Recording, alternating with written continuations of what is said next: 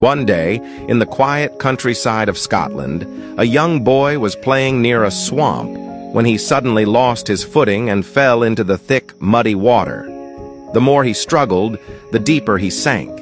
Terrified, he screamed for help, his cries echoing across the open fields. A poor farmer named Fleming was working nearby when he heard the desperate cries. Without a second thought, he dropped his tools and ran toward the sound. As he reached the edge of the swamp, he saw the child flailing, barely able to keep his head above the water. Thinking quickly, Fleming grabbed a long, sturdy branch, waded into the muddy ground, and stretched it toward the boy. With great effort and at the risk of his own life, he managed to pull the child to safety. Exhausted but relieved, he helped the boy to his feet and sent him home. The next day, a luxurious car stopped in front of Fleming's modest hut. A wealthy man stepped out, approached the farmer and said, I am the father of the child you saved yesterday. I cannot thank you enough for saving my son's life.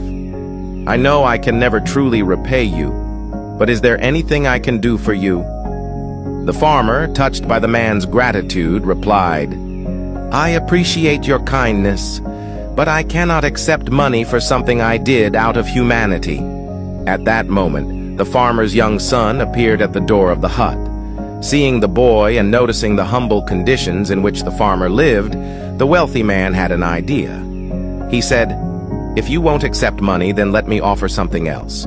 Let me take responsibility for your son's education. The farmer hesitated for a moment.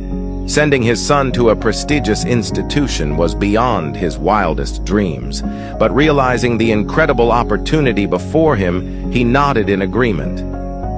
Thanks to the sponsorship, young Alexander Fleming was admitted to the finest schools, where he excelled in his studies. He later attended St. Mary's Hospital Medical School in London, where his relentless curiosity and scientific brilliance led him to a groundbreaking discovery the world's first antibiotic, penicillin, in 1928. This miraculous drug would go on to save millions of lives. But the story doesn't end there. Years later, during World War II, the wealthy man's son fell seriously ill with pneumonia. His condition was critical, and his survival seemed uncertain. He was treated with penicillin, the very drug discovered by none other than Sir Alexander Fleming. That wealthy man's son was none other than Winston Churchill, who later became the Prime Minister of Britain twice. This story is a powerful reminder that kindness has a way of coming full circle. A selfless